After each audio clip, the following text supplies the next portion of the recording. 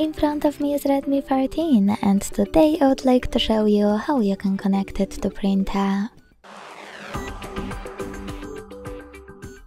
Begin by opening settings and tapping on more connectivity options.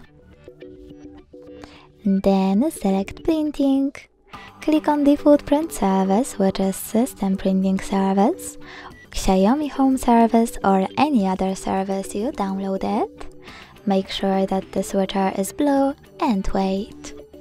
Your device is looking for a printer and when it finds one, it will connect to it.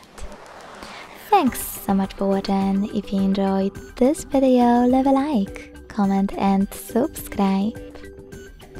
Bye!